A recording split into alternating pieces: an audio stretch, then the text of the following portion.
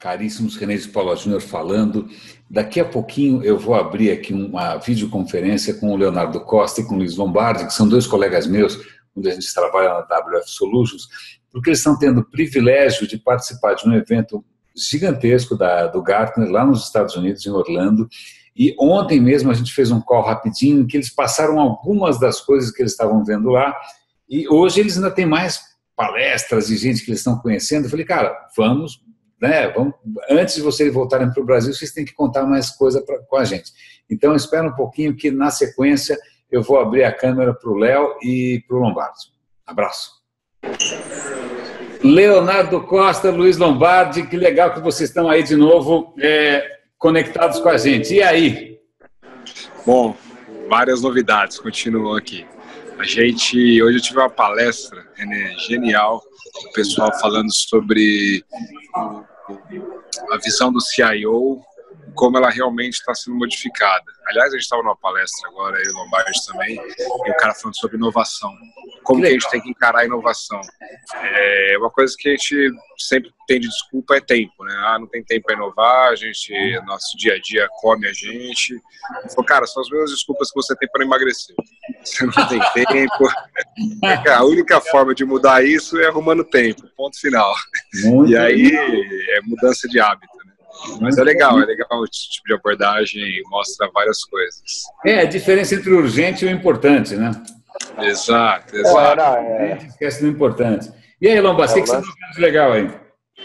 Puta, né, da coisa legal você vê o tempo todo, né? A gente vai ficando ansioso para começar a aplicar tudo que a gente está vendo aqui, para começar a botar em prática, né? Alguma Aí... novidade legal de, de, das plataformas, do, do, de algum case bacana?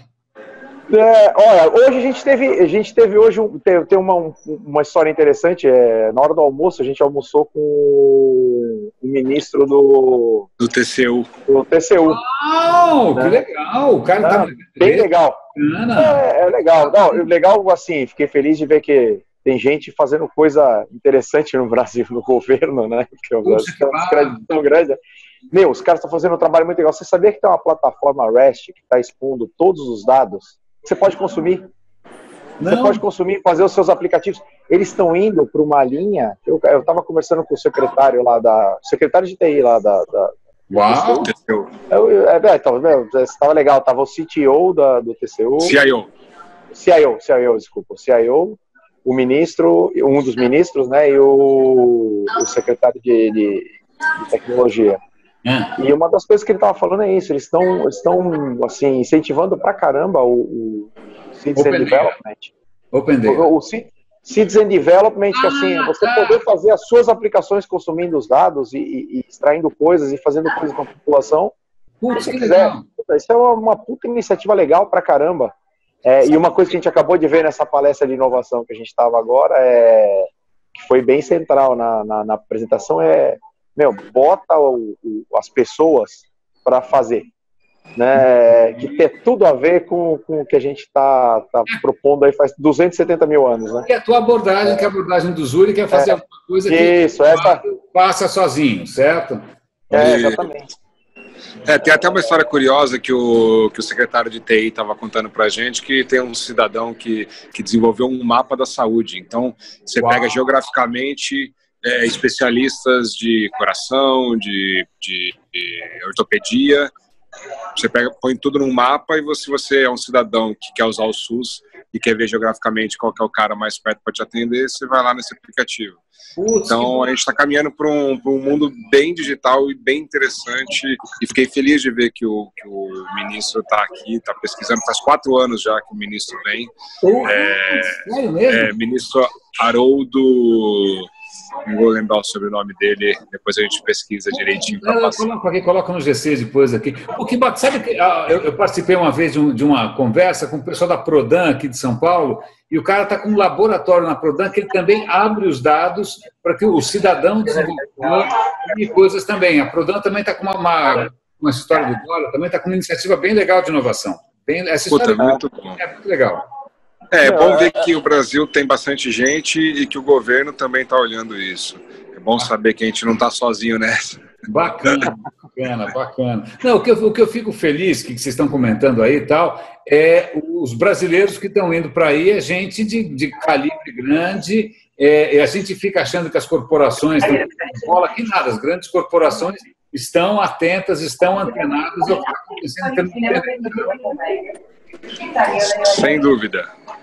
É, isso, isso é muito bacana, porque é, acho que uma das coisas que é legais do, do low code é justamente assim, sabemos que vocês têm legado, sabemos que vocês têm uma série de, de sistemas é, que estão aí que a gente não vai poder ficar livre, mas vamos ver como é que a gente consegue fazer tudo isso conversar. Eu acho que isso facilita muito a vida de quem já tem né, um legado gigante, uma resposta gigante, um monte de aplicações como esses caras têm.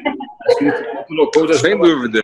É. E, e, o, o que o pessoal tem batido muito aqui também é algo interessante sobre a transformação digital no ponto de, da disrupção. Então, veio a Amazon, conseguiu derrubar mercados que ninguém imaginaria, como livros, músicas e afins.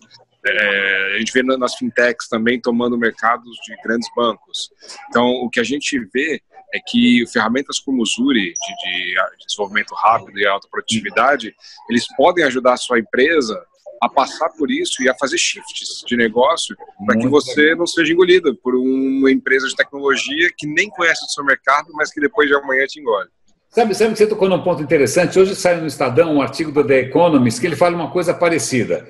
A gente fala, fala, fala de disrupção, mas acontece o seguinte: as empresas grandes elas estão atentas, elas estão usando essas tecnologias low code, etc. e tal, justamente para reagir, fazer frente, conseguir enfrentar as, as ameaças que vêm da garagem. Né? Porque não, o cara conhece o cliente, ele tem dezenas de de clientes, ele tem capilaridade, tem tudo. O que ele precisa, na verdade, para vencer a ameaça, muitas vezes é escolher a tecnologia que dê a agilidade que ele precisa. Acho que isso é fundamental. É isso mesmo. É, eu acho que uma coisa que é interessante também, que a gente estava vendo, é. é que o, o pessoal está falando muito dessa, da que a gente estava vendo agora, que o Léo até comentou da mudança de hábitos, né? É fazer aquilo é, podem ser coisas pequenas, mas começar a fazer e envolver todo mundo e fazer todo dia. Sabe? Legal. Alguma coisa criar cultura. Ele tava e uma coisa que foi legal também que a gente estava vendo, você não precisa é, é, quebrar um hábito ruim é muito difícil, mas substituir ele por um outro hábito novo é mais fácil. Então, ah, é, é, aquela história de você começar a fazer diferente, devagarzinho e ir crescendo, crescendo, crescendo, até que aquilo vire uma cultura de inovação. Muito, sabe o que isso faz lembrar? Lembra quando você, comentou ontem a cultura bimodal? Acho que talvez não seja muito claro o conceito para muita gente. Bimodal é, é uma coisa parecida com o que o pessoal da Singular chama de inovação on the edge. É você ter, ok, você tem o seu negócio funcionando da maneira tradicional, mas você também tem uma área onde que é uma área na, na vanguarda mesmo, que está trabalhando de uma maneira mais experimental, coisas novas, né, para eventualmente isso ser incorporado no negócio.